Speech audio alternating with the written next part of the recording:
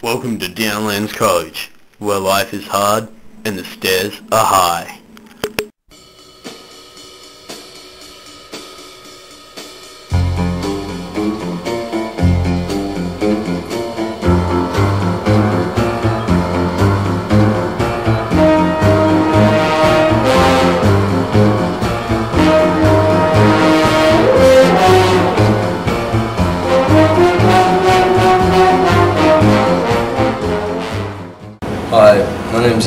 And I'm 16 and I go to Downlands. I'm in year 11. I've been disabled for two years and I find it really hard to get around the school. But I find the biggest problem I have is stairs.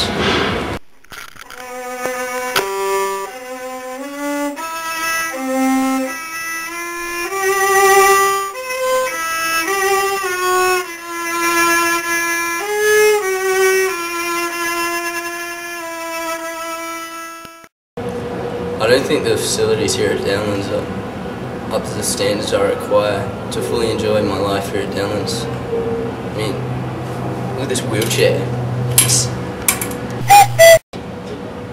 Look at this thing. What the f- is that? It's only got one freaking foot thing. I, look like a retard with this on. It's. So, uh, what do you think of the wheelchair problem in the school? Wheelchair problem? What do you mean? There's that. Ah, there's that one kid in a wheelchair. I guess he'd have a pretty hard time. He can't play. Can't play any rugby league or anything. So. Eh, not not too bad a problem if it's just one of them. And do you think the school should put more money into the um the disabled department in the school? More money. Now I don't see. Why do we have to give more money to this one kid when there's 800 of us poor blokes just trying to pay the school fees? Another major difficult task that Adam faces is going to the toilet. Adam is unable to go down the stairs leading down to the toilet.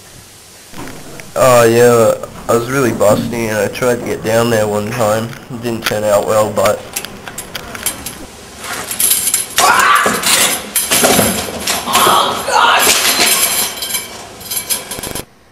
Unfortunately, Adam has to accept the fact that when he's at school, he has to hold it in. Vincent Parisi, Adam's close friend, is now going to give us an insight on Adam's life at school. Yeah, it's always been pretty hard for Adam to get around the school, especially when I'm not there to um, wheel him around. He's always been pretty determined to get to his classes and that sort of thing. And he's always wanting to try out new things, like he's in a band at the moment. And um, I think he's yeah he's really trying hard to change the school policy on the wheelchairs in the school. History was always Adam's favourite subject. But now due to the stairs leading up to the classroom, Adam is forced to abandon history for one of his least favourite subjects, art.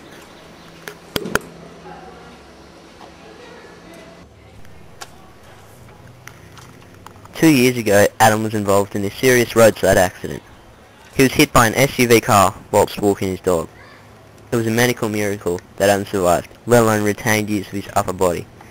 It is with great determination and courage that Adam tries to live each day like an ordinary 16-year-old.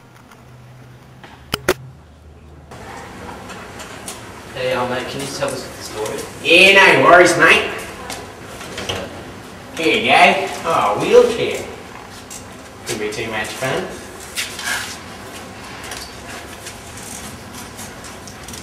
Have a good day, you two blokes.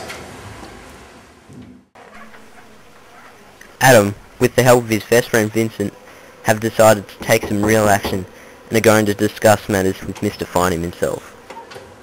So, Mr. Fineman, what do you uh, think of the handicap problem in the school? handicap problem. Yes. I don't know that we've got a handicap problem in the school, have we? Think we do. Well, if there were more handicapped people here, I guess we could justify spending uh, our money on handicapped issues, but uh, the reality is there are very few people here and we need to spend the money on uh, people with uh, perhaps less obvious handicaps. Oh, I see. What are these? I don't think you need to be, uh, be looking at those. That'd be my own personal belongings. Let's see. What's that poster over there? Disabled Well, budget. the poster is uh, just looking at the budgets for the college, and as you can see, there is a proportion of the budget spent on uh, disabled, probably very proportionate to the number of disabled people here. I think we've seen enough, Mr. Fine. No problem, Vincent. My door is always open Okay. Let's go, Adam. at the top of the ramp. Adam has decided to leave the school because the lack of wheelchair facilities have made him feel discriminated and unwelcome at Downlands.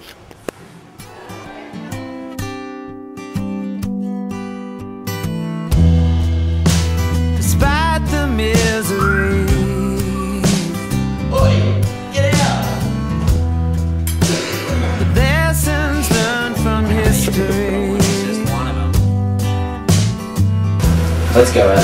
At the top of the ramp.